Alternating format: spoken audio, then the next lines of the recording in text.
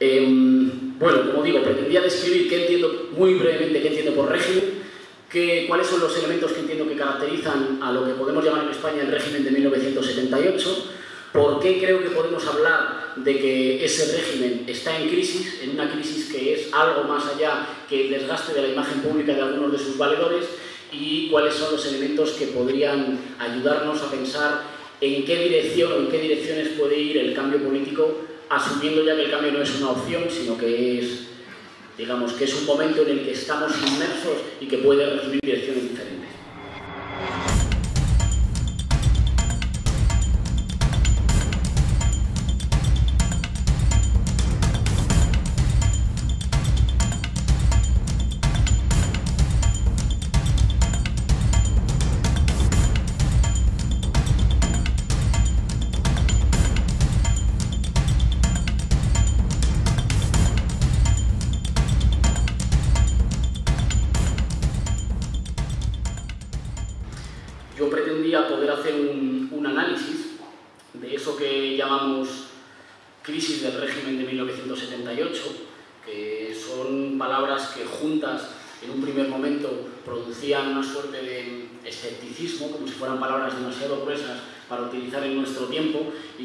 Paulatinamente creo que se van colando en el, en el lenguaje de la discusión política y en el lenguaje del, del análisis, no solo por una suerte de, digamos, de victoria cultural, sino también porque me parece que ayudan a discernir algunos de los elementos que, bueno, pues que efectivamente nos permiten pensar el filo en el que estamos. Y eso lo relaciono con el tipo de enfoque, con el tipo de, enfoque de la conferencia. La conferencia se plantea, cuando, cuando dice reunir a pensadores nacidos después de 1975, me parece que este es un momento particularmente relevante para hacer una cosa así. Es decir, para, en un momento en el que algunos creemos que estamos al filo de dos épocas, estamos al filo del cierre de una y del inicio de otra, de cuyos contornos, digamos, solo podemos especular, sin que esto signifique que todas las ideas sean igual de válidas, pero podemos lanzar ideas para, para discutirlas o para vislumbrar por dónde irá, me parece que en un momento efectivamente como de, de filo de dos épocas o de cierre de una etapa y posible apertura de otra, es especialmente relevante intentar abrir un espacio en el que, bueno, pues en el que quepa la discusión de ideas que creo que tienen más dificultades para abrirse hueco, encontré mis notas, tienen más dificultades para abrirse hueco en, en espacios, digo, o bien más académicos, con unos protocolos muy rígidos que han venido clausuran la discusión, o bien más mediáticos espectaculares, aunque a veces hoy hayamos, hayamos bordeado esos territorios. Eh, bueno, como digo, pretendía describir qué entiendo, muy brevemente, qué entiendo por régimen, que, cuáles son los elementos que entiendo que caracterizan a lo que podemos llamar en España el régimen de 1978, por qué creo que podemos hablar de que ese régimen está en crisis, en una crisis que es algo más allá que el desgaste de la imagen pública de algunos de sus valedores y cuáles son los elementos que podrían ayudarnos a pensar en qué dirección en qué direcciones puede ir el cambio político asumiendo ya que el cambio no es una opción, sino que es, digamos, que es un momento en el que estamos inmersos y que puede recibir direcciones diferentes. Entiendo, entiendo régimen como un, y esto de nuevo en la discusión, perdón, otro y último matiz, eh, seguramente me moveré, espero que con una cierta virtud, entre los terrenos, digamos, más analítico-teórico y más político, que son ahora mismo los dos que, que me atraviesan y que tienen lenguajes y lógicas eh, que no siempre son compatibles, me intentaré mover entre los dos. Entiendo por régimen que cuando lo decimos siempre eh, los opinadores o creadores de opinión, precisamente de régimen, tuercen el gesto y dicen, no, no, pero esto no es un régimen porque esto sería una democracia. Entiendo por régimen eh, un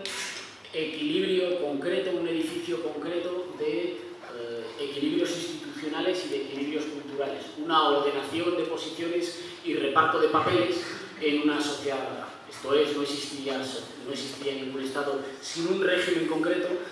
esto es, sin un reparto específico de quién tiene derecho a qué cosas, quién ocupa qué posiciones de poder, cuáles son los equilibrios condensados en instituciones, en consensos, en procedimientos, en hábitos y en un horizonte de lo, de lo esperable. Por tanto, hablar del régimen, en este caso, no sería necesariamente nada, nada peyorativo. Ya digo que creo que todo régimen es un equilibrio, de, un equilibrio de fuerzas, un equilibrio condensado de fuerzas, que tiene que jugar siempre con dos movimientos. Con un movimiento de inclusión-exclusión, es decir, un régimen es todo ordenamiento que define qué cabe dentro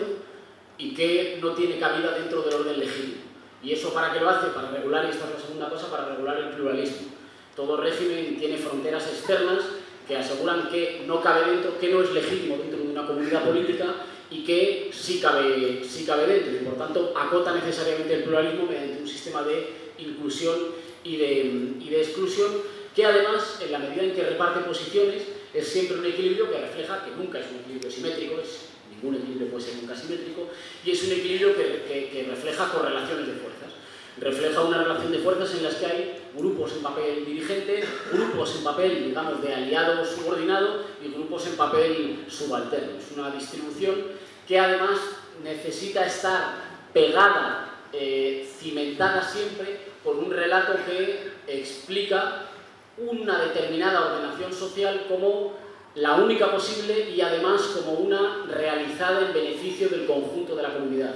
De la capacidad de un régimen de instalar relatos que hagan esto depende su estabilidad política. Para nuestro caso, hablaremos de un régimen que ha sido capaz, no en todo el territorio, pero en prácticamente todo el territorio de España, de instaurar 30 años de estabilidad política con un reparto de posiciones que, si bien no, no, entregaba a todo el mundo las mismas posiciones y la misma, el mismo derecho a adquirir bienes, a recibir bienes económicos, a recibir bienes culturales, a recibir bienes simbólicos, sí que era capaz de generar, digamos, un cierto sentimiento de proyecto colectivo, de universalidad. No todos ocupamos el mismo lugar en el barco, pero el barco va en una misma dirección para todos. Esa dirección es sustancialmente beneficiosa para todos, no, tan beneficiosa de igual manera, pero es claramente un proyecto colectivo del que todos salimos, del que todos salimos eh, beneficiados. Creo ahí entonces que para pensar un régimen hay que pensar de manera fundamental cuáles son las... Y esta idea no es mía, es del filósofo Rancière, hay que pensar fundamentalmente cuáles son sus exclusiones. Eh, para definir un régimen es central definir qué es lo que no cabe, qué es lo que, cuáles son los afueras que no tienen espacio legítimo dentro del juego del pluralismo en una comunidad, en una comunidad política. Por lo que respecta al régimen del 78, creo que el régimen del 78, para pensarlo, tenemos que pensar dos momentos fundantes. Tenemos que pensar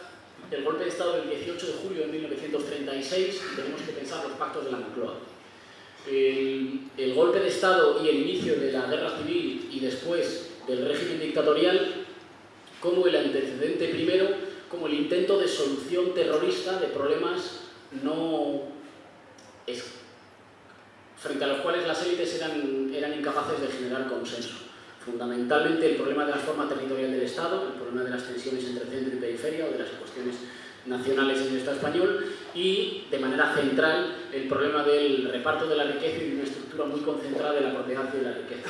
La incapacidad de los sectores dominantes de darles una solución por medio del consenso a estas problemáticas les lleva a la obligación, a la necesidad de darles una solución por vía de la imposición directa, por vía de la coacción o del terror, por eso digo una salida terrorista. En un momento dado, eh, a resultas de un proceso de modernización, del empuje de las luchas de los sectores populares y de eh, un agotamiento mismo del, del, modelo político y social de la dictadura, eh,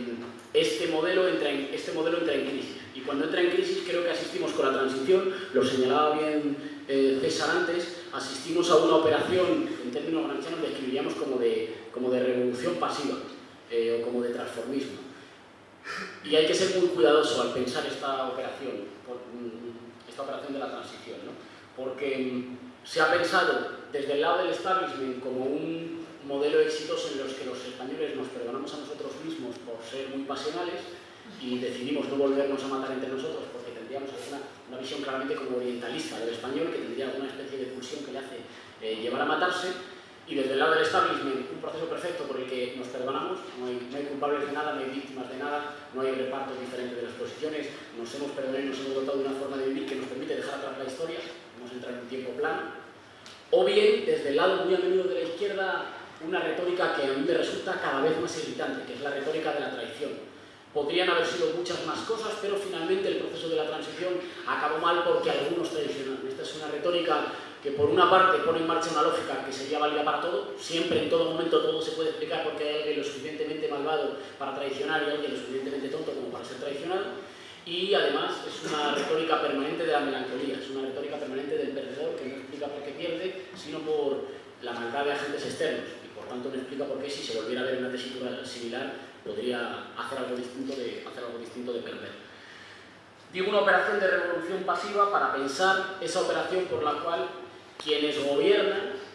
para seguir gobernando, tienen que incluir demandas, reivindicaciones fundamentales de quienes son gobernados. No es un proceso de maquillaje, ni de mentira, ni de esconder la verdad de un régimen, es un proceso de cambio real, de cambio real en el que quienes están en las posiciones centrales de poder se ven obligados a incorporar una buena parte de las peticiones, de los anhelos, de los reclamos de los sectores que están desafiando ese poder, pero desposeyendo a esos reclamos de la capacidad de impugnar el reparto dado de posiciones. En nuestro caso, creo que eso se, creo que eso se hace, digamos, asumiendo el carácter particular de las reivindicaciones, integrando las reivindicaciones y su contenido específico, desposeyéndolas de su sentido universal de crítica al, al edificio general, y en nuestro caso integrando a las fuerzas políticas principales de la oposición y asegurando contrapesos relativamente populares en el Estado. La negociación colectiva, el papel de negociador y de intermediario de los, de los partidos digamos, que durante un tiempo son representantes de los sectores populares, es una suerte de integración por la cual quienes mandan siguen mandando, los aparatos de Estado en general hacen incólumes la transición, no hay renovación en los medios de comunicación, en las otros medios de comunicación, no hay renovación en las cabeceras de las principales empresas, no hay renovación en los aparatos de los cuerpos y fuerzas de seguridad del Estado, no hay renovación en la mayor parte de las posiciones de poder, sí lo hay por la vía de la competición electoral en las posiciones, digamos, del, poder político, la parte pequeña del poder político sometido a, democracia, y eh, hay claramente una incorporación de los sectores populares a un nuevo pacto social. Un pacto social que le dice a mucha parte de los sectores que habían desafiado la dictadura eh, tienes derecho a determinados derechos y hay sacrificios en la generación presente que los va a cobrar o los va a heredar como derechos la generación siguiente, sea eh, la mía en este, en este, caso. Y hay por tanto una especie de proyección de la satisfacción aplazada. ¿no? Eh, hay renuncias ahora que cobrarán sentido por la generación que vivirá en mejores condiciones y que será la generación más privilegiada de la historia. Esto tiene una relación directa con ese discurso que hoy nadie se atreve a repetir de la generación que lo tiene todo, la generación que no tiene que hacer nada, que vive en unas condiciones de lujo, que, digamos, todo este relato que fue hegemónico durante un tiempo y que hoy creo que, creo que se quiebra. Junto con esto hay que nombrar, y acelero con esto, hay que nombrar tres elementos más de, ese, de, esa, operación de revolución pasiva que supone la transición. Hay que nombrar el elemento de el modelo de desarrollo que se pone en práctica, con lo que algunos hemos llamado una lupenoligarquía con escasa capacidad de desarrollo nacional, que, eh, digamos, que cifraría en Europa los, la solución España. Es el problema, Europa es la solución. Todo lo que venga de Europa es permanentemente modernidad y modernización. Recordemos que aquí, el referéndum sobre la Constitución Europea, ganó el proyecto de Constitución Europea eh, sin tuviera la menor discusión sobre la Constitución Europea. Ganó por el mismo digamos, por el mismo procedimiento narrativo con el que ganan todas las cuestiones que vienen de la Unión Europea, de, la Unión Europea realmente existente. Europa es modernidad, la solución a nuestros problemas como país, la solución siempre es cualquier cosa en cualquier condición que venga de Europa, y además esta idea de Europa que reviste la Unión Europea concreta, parece que viene digamos, de un espacio como geopolítico y cultural místico, del que viene, vinieron todos los avances, cómo vas a rechazar las medidas concretas de, las medidas concretas de ahora. ¿no? Así que un modelo de desarrollo de, de, de, base muy estrecha en lo económico, con muy poca capacidad de generar eh, valor agregado de generar riqueza incluir a la mayor parte de la población, muy basado en actividades muy volátiles, en cuanto que ha llegado la crisis han mostrado su fragilidad y en el que la corrupción juega un papel central, no como mecanismo por el cual algunos elementos individuales se corrompen o buscan aumentar sus riquezas mediante el servicio público, sino como el mecanismo que engrasa y pone en contacto a las élites económicas con el sistema de partidos. El mecanismo por el cual las élites económicas se garantizan que salga lo que salga en la competición en las urnas, se gobierna siempre para los intereses de unos pocos. Las obras públicas se adjudican siempre a algunos, las leyes se hacen siempre en un sentido, las instituciones fallan siempre en un sentido. Un mecanismo, por tanto, que engrasa y conecta estos, estos dos puntos ¿no? y le asegura a la élite económica tranquilo porque el proceso, digamos, la competición electoral no va a suponer un trauma para ti. Salga lo que salga, eh, tú vas a seguir ganando, vas a salir beneficiado. El caso de Caja Madrid y de las tarjetas negras, siendo solo una anécdota, es una anécdota eh, marcadamente paradigmática de todo un pacto social que aglutina a muchos sectores en el que la corrupción no es una anécdota, no es un resultado no deseado, sino que es la piedra sobre la que se fundamenta toda una articulación de sectores diferentes, por cierto también de sectores que venían de ser la oposición a la, la oposición a la dictadura, ¿no? que venían, digamos, históricamente. En términos territoriales esto supone el, el, intento de articulación en el Estado de las autonomías y en términos culturales, y ahí habría más que discutir, y solo lo nombro, la producción de un nuevo sentido, no es solo un reparto de, no es solo un reparto de bienes o de prebendas para articular un nuevo bloque histórico, es un relato nuevo. Se ha llamado cultura de la transición y creo que es un término del que hemos abusado muchísimo, pero que efectivamente describe algunas cosas que por otra parte no son tan particularmente españolas. Digamos, un estrechamiento del, ámbito de lo discutible, una suerte de eh, confusión de democracia y consenso, según la cual democracia es estar todos de, democracia y consenso y ya en último extremo constitución. De tal manera que la democracia es estar todos de acuerdo en lo fundamental e impugnar algo de eso de fundamental sería algo así como impugnar la democracia. Después del 25, como nota al pie, después del 25 de mayo hemos visto muchos representantes políticos decir que había una fuerza que era una fuerza antipolítica, eh, lo cual revela hasta qué punto habían identificado su posición concreta en el sistema político con toda la política. Digamos, la política se acaba en mi persona y la crítica a mi persona es una crítica a la política, a la política per se. Eh, creo que este, este régimen construido con los pactos de la Moncloa y la Constitución del 78 como momento fundante, eh, en el que también, obviamente, es obvio decirlo, juega un papel fundamental el chantaje permanente de ese es o esto, la involución autoritaria, que es un chantaje sobre el que creo que es menos importante la discusión histórica, el tan conocido no pudimos hacer otra cosa, como es la justificación presente. Digamos, bueno, no sé, es una discusión de historiadores, si se pudo o no se pudo hacer otra cosa. En todo caso, eso no constituye una justificación presente para el mantenimiento del edificio tal y como está. Creo que vivimos en la actualidad que este régimen ha alumbrado 30 años en general de estabilidad política, de estabilidad política, social y cultural, con un reparto de posiciones marcadamente injusto y marcadamente inequitativo, pero sin embargo que ha sido exitoso. Cuando digo exitoso no estoy haciendo ninguna valoración ética, estoy haciendo una valoración como régimen capaz de ordenar las posiciones decir a ti te toca a ti, a ti te toca aquí, a ti te toca aquí y a mí, por cierto, me toca en el centro y que esas, ese reparto de posiciones haya sido tan exitoso. Cuidado, la mejor, el mejor diagnóstico o la mejor manifestación del éxito de, de, de, esa construcción simbólica, política, económica y cultural que fue el régimen del 78 ha sido que la mayoría de quienes incluso se dicen que quieren aspirar a impugnarlo, a sustituirlo, operan con las mismas lógicas y en los mismos términos que ese régimen. Por ejemplo, aceptan ubicarse, sobre esto hemos hablado mucho algunos, aceptan ubicarse en algo así como el extremo izquierdo del tablero desde el cual impugnar el tablero del régimen, olvidando que nunca ningún orden político se impugna desde su reparto de posiciones, aceptándole al adversario que él se coloque en el centro y que distribuya quién está, quién está a sus lados, por más que a algunos les produzca una satisfacción estética estar a los lados. Es algo que se produce en la política y con lo que también quiera ser crítico, se produce en la política y se produce también en los espacios intelectuales y académicos. Una suerte de satisfacción casi masturbatoria con ser iconoclasta y ser cínico, que por otra parte no tiene nada de innovador, es una cosa profundamente vieja, instaurada por el neoliberalismo hace algo así como 30 40 años de la de un modelo institucional y cultural. Eh, creo que el, el, el 15 de mayo de 2011 fue tanto una expresión del agotamiento de algunos consensos como un acelerador de ese proceso de crisis. Por cierto, un acelerador que impidió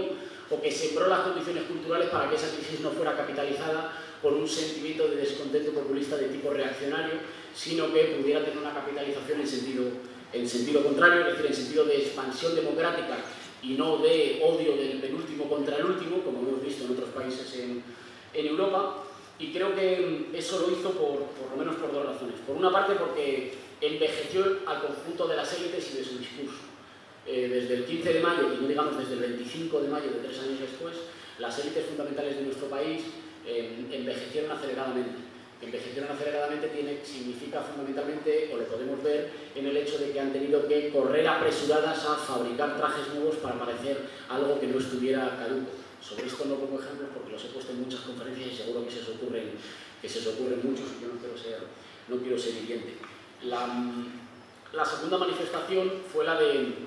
fue la de la politización de los problemas. Digamos, frente a ese individuo muy listo, muy cínico, que era, había un tuit que lo resumía bien, que decía, era un tuit de estos en forma de diálogo, entonces uno decía, soy, soy poeta, soy bloguero, eh, muy a menudo viajo a Londres y en mis tiempos libres hago patinaje.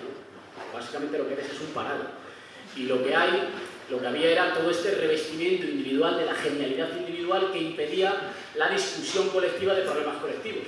que fue una cosa que el 15B puso encima de la mesa. Yo recuerdo en el mamotreto ese que cubre lo que es ahora la estación de Sol en la Puerta del Sol en Madrid, muchos posits individuales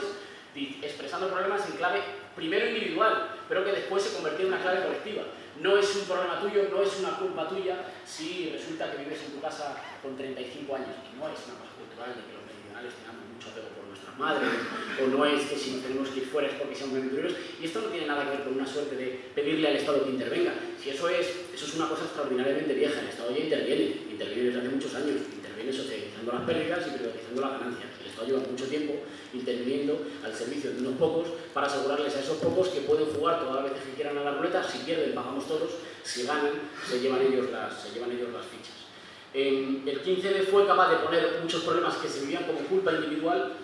yo siempre lo cuento, pero es verdad, yo conozco gente que, que fue desahuciada antes de que, antes de que los desahucios fueran una,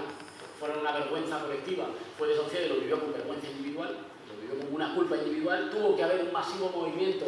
de producción de un nuevo sentido, como fue el 15M. Cuidado, cuando digo movimiento no me refiero solo al, al grueso de la gente que protesta, igual a cómo trastoca el conjunto de las percepciones con las que vemos lo que nos pasa, para que esos problemas se politizaran. Es decir, para que pasaran a ser problemas que tienen una causa, que tienen un responsable, que tienen una víctima y que tienen una solución que podría ser diferente, que no son fenómenos meteorológicos ante los cuales no cabe resistirse, sino que son el resultado de decisiones concretas que podrían haber ido en sentido, en sentido diferente. La expansión, perdón, y junto con esto, estoy viendo a toda velocidad, me disculpo por ello, junto con esto tenemos un fenómeno de crisis de expectativas que creo que es más importante aún que el fenómeno del empobrecimiento. Una brecha drástica entre un relato según el cual lo teníamos todo y una realidad según el cual se tiene cada vez menos. Creo que es más importante para pensar el cambio político en España la crisis de expectativas que el empobrecimiento. No es que se golpee una población, el empobrecimiento muy a menudo triunfa. Eh, el empobrecimiento muy a menudo disciplina, mete miedo y sirve como suerte de domesticación de las poblaciones para que acepten cosas que nunca aceptarían en las urnas. Es fundamentalmente la crisis de expectativas, la distancia que hay que saldar entre lo que el relato oficial decía que nos esperaba al final del camino, cumpliendo todas las etapas del contrato social, y eh, lo, que realmente, lo que realmente espera. Todo esto provoca una expansión del descontento, una expansión del malestar y de las quejas. Y esas quejas resulta que no encuentran, la, no son integradas en el sistema político existente. No son integradas, me parece, siendo muy esquemáticos, por dos razones. No son integradas en primer lugar porque se encuentran con un discurso incapacitado para integrarlas. Es un discurso que ya desde hace mucho tiempo viene robándole pedazos de realidad a la política y entregándole cada vez más trozos a los técnicos y diciendo no se puede hacer otra cosa. La economía claramente, la economía es una cosa complicadísima de matemáticas por las cuales unos expertos nunca aciertan una crisis hasta que ha sucedido. Entonces, la economía es un periodo, una cosa que solo se le tiene que entregar a los técnicos, la gestión de las ciudades es una cosa que solo se le tiene que dejar a los técnicos, la gestión de nuestras relaciones, el mercado de trabajo, la energía, es decir, el robo de cada vez más parcelas a la posibilidad de discutirlas políticamente y, por tanto, a la posibilidad de someterlas al arbitrio de las mayorías. Es decir, es un proceso de expropiación eh, oligárquica del conjunto de las, de cuestiones que afectan a una comunidad y aceptado por dos formaciones políticas centrales en el régimen, por cierto, no régimen con bipartidismo, el régimen son los dos partidos centrales y también el conjunto de formaciones políticas que aceptaban el reparto de posiciones que garantizaba la mayoría a las dos, a las dos formaciones centrales, dos formaciones centrales que en una lógica que diría Santa Cruz política aceptan em, una suerte de relato por el cual el conflicto se habría acabado, habríamos entrado en otro periodo de la historia en la que lo que habría que hacer es dejar que los buenos gestores gestionen. Y por tanto una, una suerte de, de, recomendación de váyanse a casa, ya estamos gobernando los que, los que sabemos, ¿no? y no hay diferencias fundamentales. Cuando esto sucede, por una parte el discurso dominante no tiene capacidad de integrar las críticas, escucha las críticas, pero no tiene las críticas, las reivindicaciones, no tiene capacidad de integrarlas, de darles cabida, más que en algún caso de forma cosmética, pero por otra parte materialmente tampoco tiene capacidades, es decir, eh, cuando los ciudadanos empiezan a acudir a la ventanilla 1 para satisfacer la necesidad 1, a la ventanilla 2 para satisfacer la necesidad 2 y a la ventanilla 3 para satisfacer la necesidad 3, se encuentran las ventanillas cerradas. ¿Cerradas por qué? Porque el Estado ha ido renunciando paulatinamente a la capacidad de, regular en favor de las mayorías, sigue regulando muchísimo. No ha habido deregulación alguna, sigue regulando muchísimo, pero en favor permanentemente de las minorías. Y además, nuestras élites han atado su suerte al arbitrio de poderes financieros no elegidos por nadie, para los cuales la sostenibilidad de un proyecto de país en España no es un problema, porque hay una relación semicolonial con España, cual eh, tú puedes diagnosticar políticas que es posible que sean desastrosas, que lleven a Grecia, que lleven a las políticas que ya vimos en la década perdida en América Latina, por la cual los acreedores tienen más interés en aumentar exponencialmente los intereses de la deuda, que es una deuda que saben que no se puede pagar, pero cuanto más se prolongue esa situación, más van ganando en el corto plazo, y es verdad que los inversores a menudo, especialmente en el sector financiero, piensan fundamentalmente en corto plazo,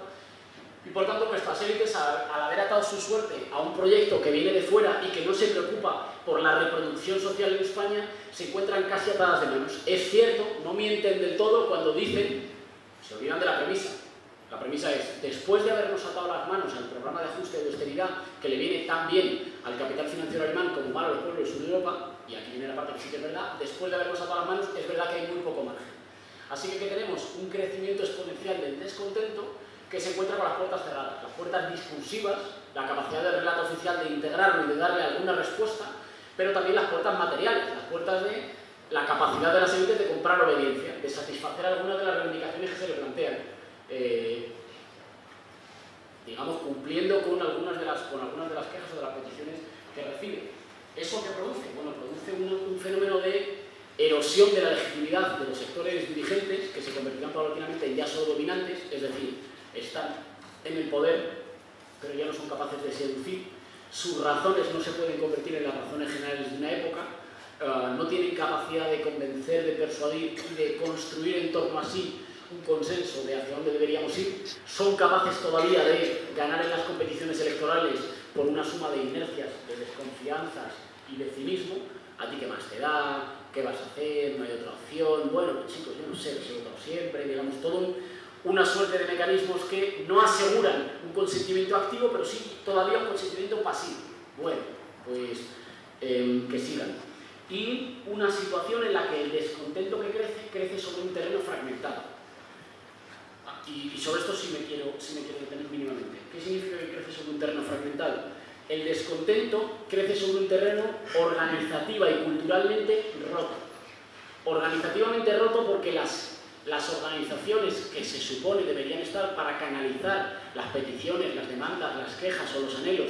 de los perdedores de una situación dada, las organizaciones sindicales, las organizaciones políticas, las organizaciones sociales que debían canalizar esas peticiones,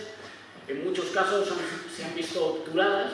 con mucha dificultad de responder a la nueva coyuntura y con una buena parte de sus direcciones viviendo exactamente igual que aquellos que recetan las políticas del empobrecimiento, por tanto con dificultades de servir todavía como canales de transmisión de una voluntad de cambio. Y en el terreno cultural lo que tenemos es la destrucción de un pueblo y de una ciudadanía. En un primer momento la transición fue optando, recuperando, integrando para el orden nuevo a, parte de la, a la parte mayoritaria de la oposición a la dictadura. Pero después ha ido siendo con una maniobra de la disgregación, del cinismo, de la desconfianza y de la derrota de los valores colectivos. De tal manera que cuando la gente se harta y quiere salir a protestar, no tiene canciones que cantar en común, no tiene banderas que, levantar en común, no tiene nombres que darse en común, no tiene ningún hábito de hacer nada en común, de salir en común, más allá de, los dos grandes canales que canalizan la vida, la vida colectiva, digamos, los canales exclusivamente institucionales electorales o los canales mercantiles, y por tanto lo que tenemos es un conjunto de dolores fragmentados sin ese material simbólico fundamental para construir a partir de lo que es un conjunto de gente descontenta un pueblo, es decir, una unidad que se dice que tiene un pasado en común, y aquí, y aquí es muy poco relevante cuánto de veracidad histórica tenga eso, se dice que tiene un pasado en común, tiene una voluntad presente de vida en común y de dotarse de normas. Un pueblo, cuando nace un pueblo siempre nace en un sentido constituyente, We the People no es por casualidad el inicio de una constitución paradigmática, siempre en un sentido constituyente y una voluntad de, futuro. El descontento al darse en un terreno fragmentado no se articula ni en, términos culturales gracias a estos elementos que no existen, que están rotos, ni, y están rotos por, por, muchos motivos sobre los, que luego, sobre los que luego iremos. Uno de los más importantes es la no disponibilidad de la identidad, la no disponibilidad inmediata. Yo creo que eso puede estar cambiando. La no disponibilidad de la identidad nacional como identidad agregadora de las mayorías empobrecidas, por razones históricas y culturales muy largas, que, igual podemos entrar en la discusión, y em, por tanto un descontento marcadamente fragmentado. En esa situación,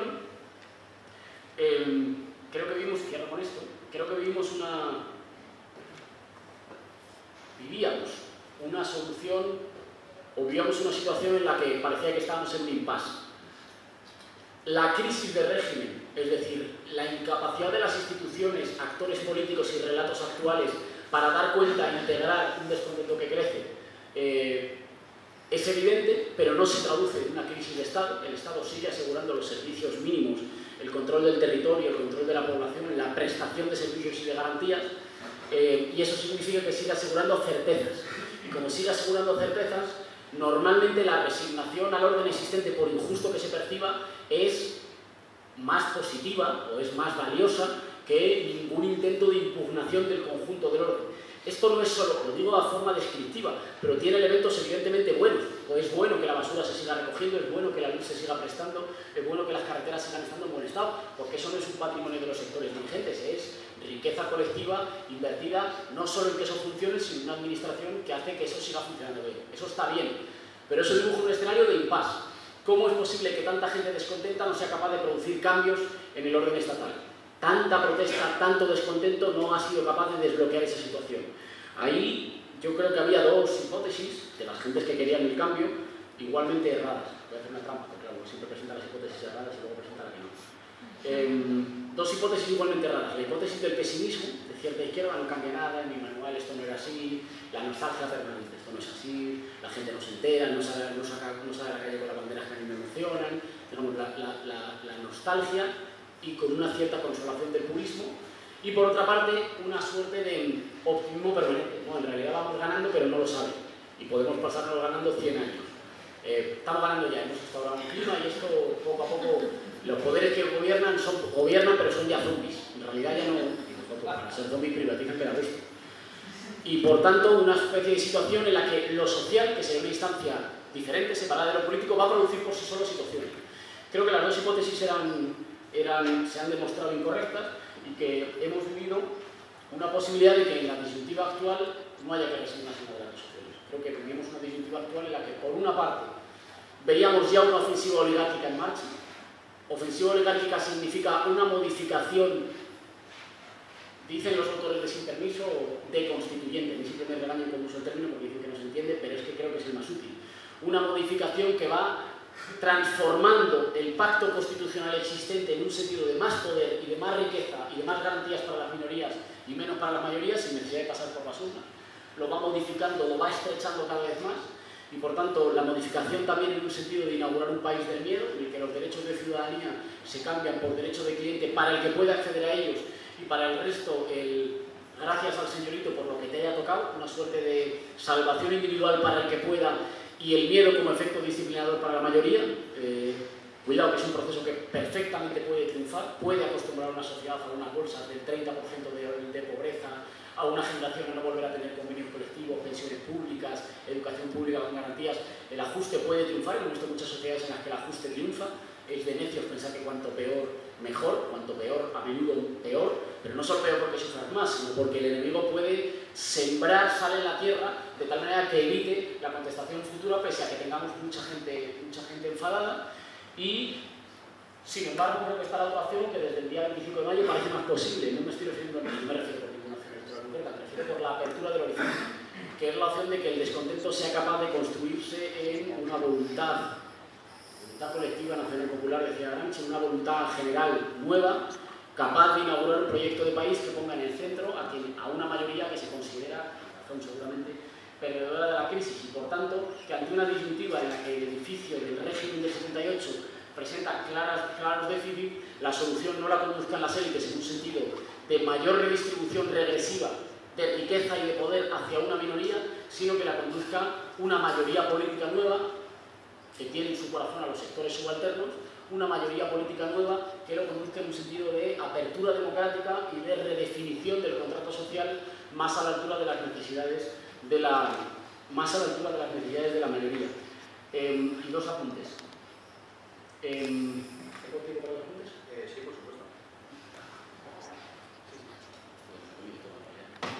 Dos apuntes más rápidos aún.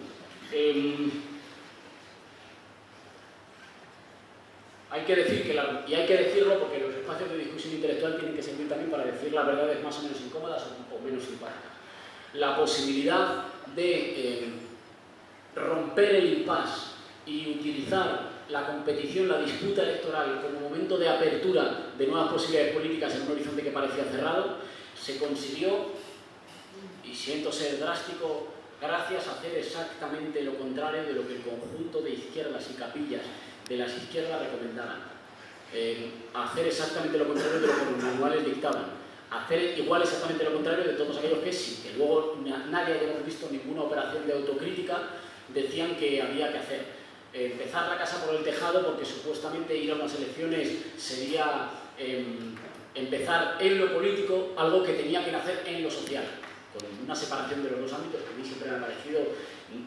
liberal y, marcadamente ciega. Pongan ustedes el adjetivo primero que, quieran. Em, también por el hecho de la creencia de que la alteración de las metáforas izquierda y derecha conducía a una suerte de desideologización como si la política estuviera atada siempre necesariamente a las metáforas izquierda-derecha, que por cierto, solo rigen para la modernidad europea, pero que fueran dos términos, dos metáforas, una metáfora geográfica que tuviera siempre, en todo momento y lugar, que ordenar las posiciones políticas, olvidando que nunca ningún cambio fundamental se ha hecho eh, a una distribución dicotómica de las posiciones políticas en torno a izquierda-derecha, y en tercer lugar, qué decir del problema de los liderazgos eh, y su relación con la democracia. Según muchos compañeros o muchos opinadores, esta sería una, esta sería una solución que, que no sería útil, que sería útil en, en, otras sociedades pero no en España, es decir, no podrían funcionar referentes individuales como, como articuladores colectivos, como banderas, los nombres propios como, como banderas, olvidando que esto ha sido así incluso en las culturas políticas más horizontalistas. Siempre pongo, cuando no he provocado lo suficiente, siempre pongo el ejemplo de la cultura política seguramente más horizontalista que nos podemos imaginar, que además muy arraigada a la historia política española. Eh, cuando se entierra Buenaventura Durruti en Barcelona, acuden unos cuantos cientos de miles más de, personas, de trabajadores, que al entierro de un miliciano normal y anónimo. Esto porque su figura se ha convertido en un referente colectivo que no significa que se atribuye más poder, pero que se ha convertido en un nombre propio que sirve también de denominador común, de nombre común para una identificación, para una identificación nueva. Eh, así que alteración de las metáforas, disputa de los significantes centrales que no se le regalan al adversario, sino que se disputan centralmente con un pie en el sentido común existente y con otro pie en sus posibilidades de empujarlo hacia un sentido de ruptura. Y el otro punto que quiero, que quiero poner encima de la mesa es la reacción clara, ¿no? después del pequeño terremoto, la reacción de las élites, después del pequeño terremoto que sacude el mapa político español el 25 de mayo, que es tanto más revelador cuanto es más modesto. Digo, lo revelador de ese terremoto político es que cuantitativamente es modesto. Eh, la fuerza política Podemos, que es la gran...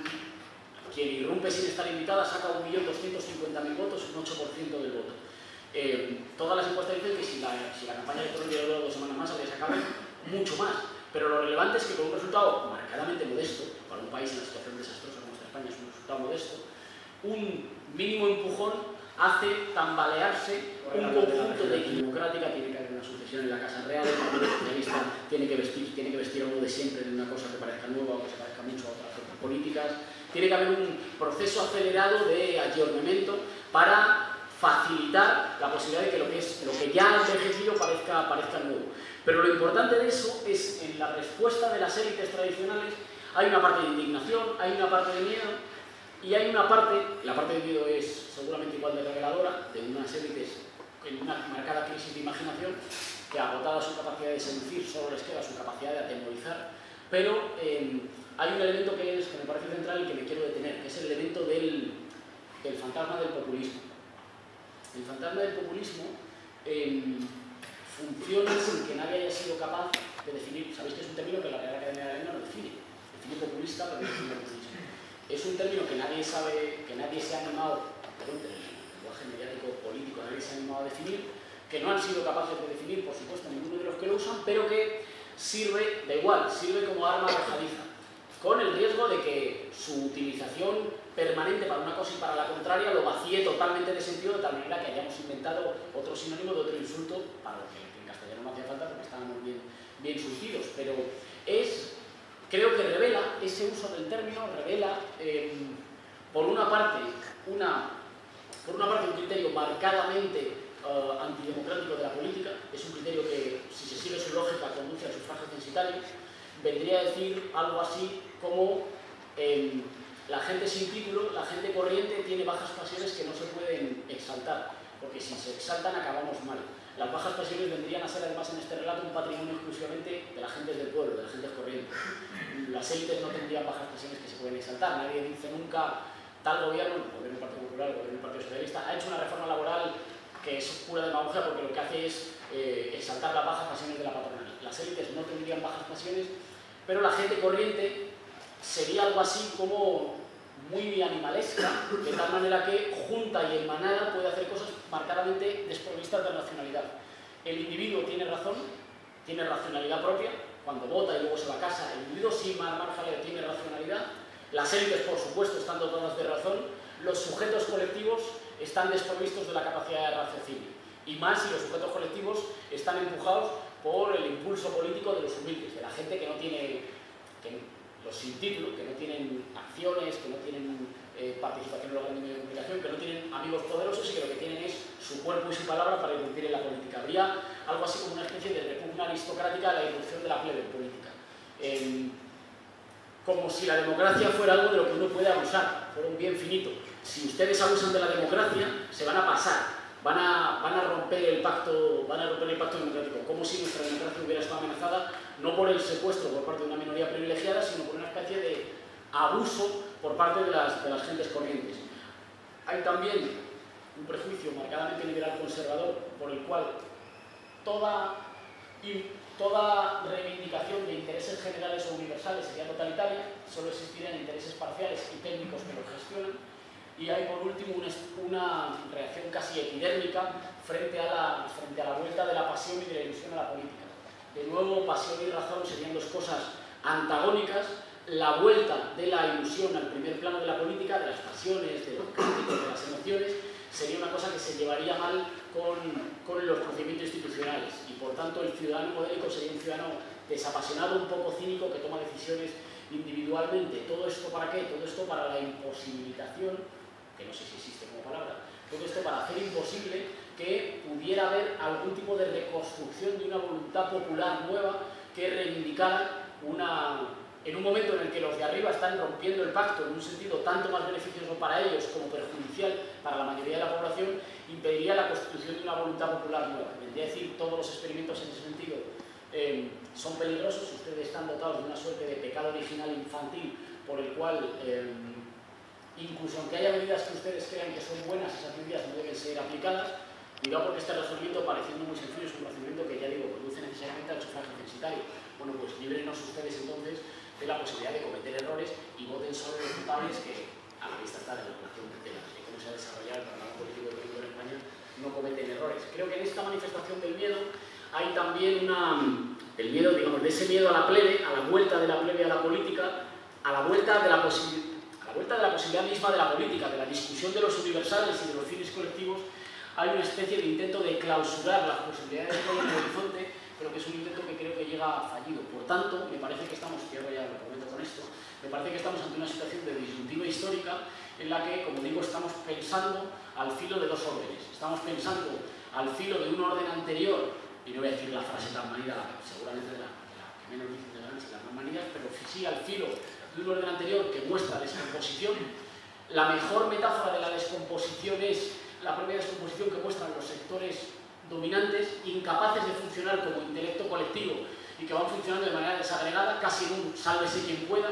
eh, y por tanto incapaces de actuar como élite conjunta y actuando ya como un conjunto de familias que fluctúan lo público en una dinámica casi, casi mafiosa, la construcción de una voluntad de cambio alternativa todavía embrionaria, a la que le falta no solo la posibilidad de construirse mayoría política para disputar las instituciones, sino también de reconstrucción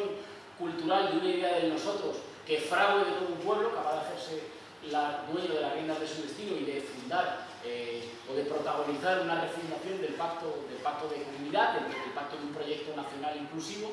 y, em, y una situación de extrema aceleración que, que nos obliga a una... nos obliga a mucha, a mucha precaución, pero también a mucha osadía intelectual, a pensar siempre al paso de unos acontecimientos que nos sorprenden, que van a mucha velocidad y en la que parece que la, que la esperanza de qué pueda pasar con nuestra sociedad tiene que estar necesariamente en las posiciones de quienes están estado privados de poder, toda vez que quienes tienen poder creo que solo se debaten entre dos alternativas. La alternativa, conduzcamos el ajuste y la transformación oligárquica de nuestro país solos y si hace falta hagamos giros mínimos, pero de un gobierno marcadamente titubeante que improvisa, que va soltando las, que ensaya una medida y luego dice que no, que deja caer a un ministro cuando resulta que ese ministro ya parece que le resulta incómodo, que va probando un gobierno como marcadamente carente de proyecto y de capacidad de dirección, una alternativa que dice, frente a la crisis estructural del edificio, démosle una mano de pintura bonita, una mano de pintura moderna, con las mangas de la camisa remangada, con estos así muy populares, o la alternativa de transformación política, que creo que solo puede ser una alternativa, para nuestro caso, una alternativa constituyente. Bueno, yo doy las gracias y perdón por haber construido todo el tiempo y por haber hablado tan rápido, pero se me mucho.